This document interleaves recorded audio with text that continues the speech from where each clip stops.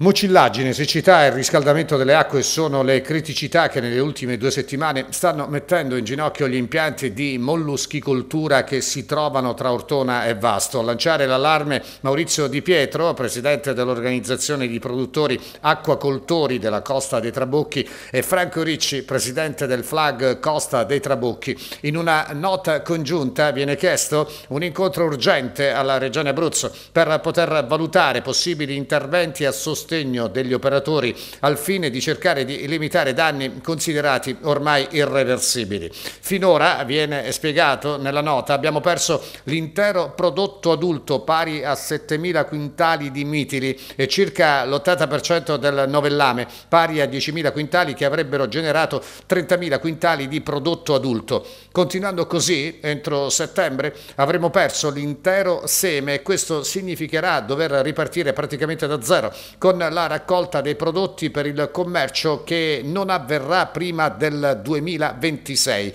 Siamo davvero disperati. Tra le soluzioni proposte il riconoscimento dello stato di calamità, l'individuazione di forme di indennizzo diretto o la rateizzazione degli importi dovuti al fisco e agli enti previdenziali, almeno per i prossimi due anni. E ancora si chiede alle istituzioni di adoperarsi con gli istituti bancari affinché consentano una moratoria sui mutui accesi dagli imprenditori del settore.